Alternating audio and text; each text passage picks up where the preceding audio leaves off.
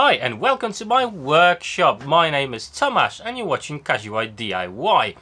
In today's episode we'll be making a very cool pendant, so stay tuned.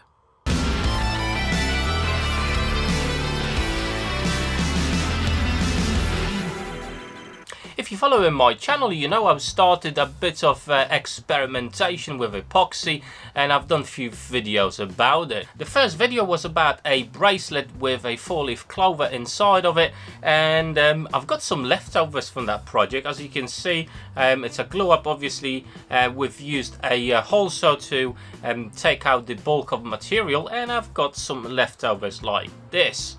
So, as you know, I hate waste of any kind hence I'm going to be using parts of this. So in total I've got four pieces like that and I already took off a piece of walnut of one of those. I cleaned it up on my belt sander and we'll be using this to create our pendant. If you want to find out how you can get to this stage, check out my other video. I'm going to link it up above and down below in the uh, description of this video. But now it's time to get this piece of walnut ready for pouring the epoxy in.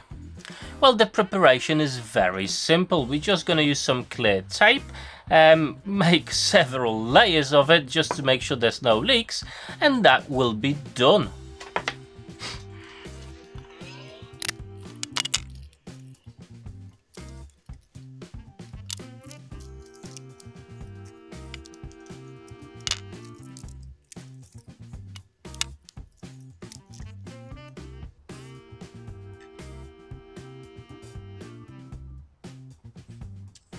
So for this particular project, I'm going to be using a epoxy that comes in two parts, A and B.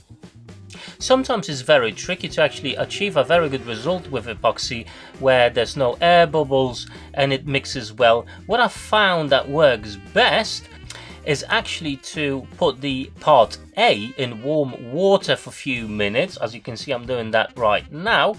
Um, probably about five to not more than 10 minutes.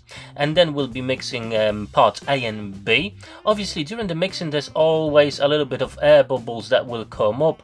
Um, try to mix it really really slowly. That always helps to prevent uh, the air bubbles. But if you do get some put them back in warm water and they will gather right at the top. At that point you can just fish them out or you can actually just blow at them and they should disappear. And as you can see at this point we're just mixing some pigments white and black for this particular project. That's what I'm going for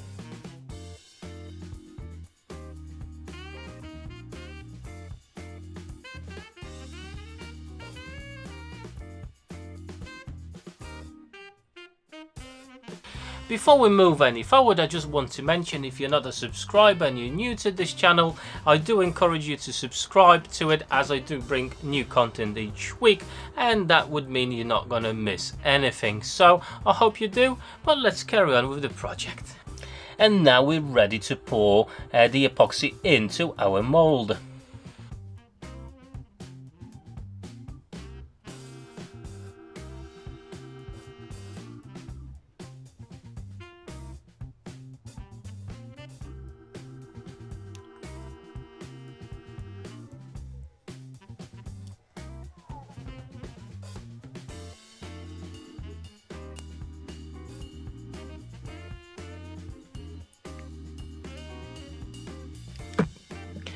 And we'll leave it to uh, cure for about 24 hours.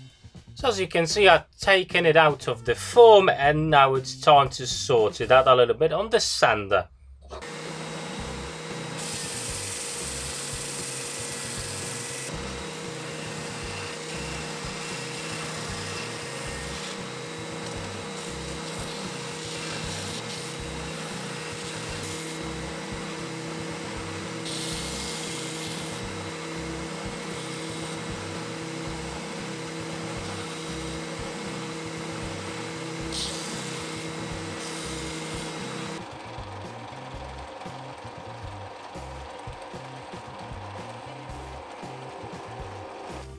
And now it's time for a bit of sanding. Uh, we're gonna start with normal sandpaper from grid 200 right up to 400. Then we're to be doing some wet sanding with the pads. That's going right up to uh, 1200 grid. And then we're to move on to the micro mesh that goes up to um, 12,000.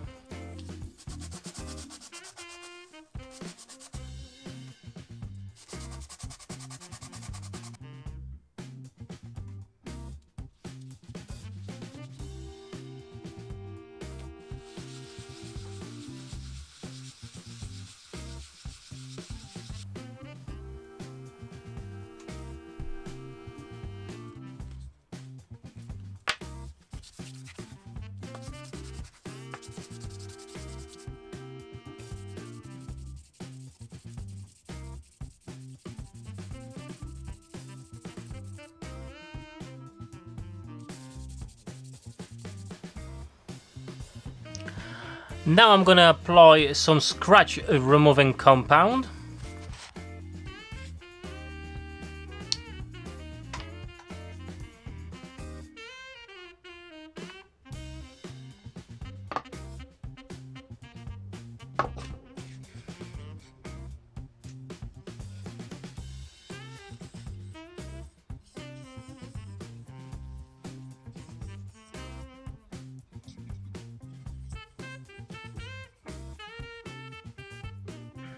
Now I'm going to apply the buffing compound onto the pendant.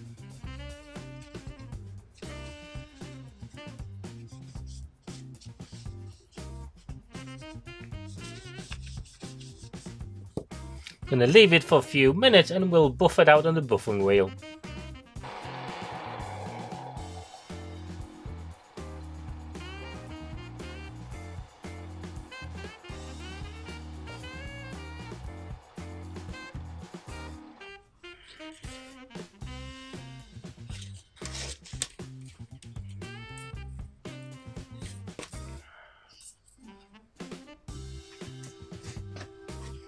And there you have it guys, a really beautiful uh, pendant, two colors, white and black. And obviously that beautiful walnut, absolutely gorgeous.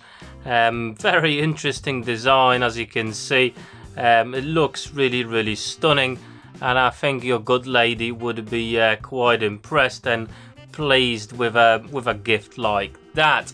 I hope you enjoyed this video. If you did, drop me that like button down below and if you got any question about the process of making this please make sure to drop me that comment down below but as always guys thank you so much for watching and I hope to see you on my next woodworking adventure till then take care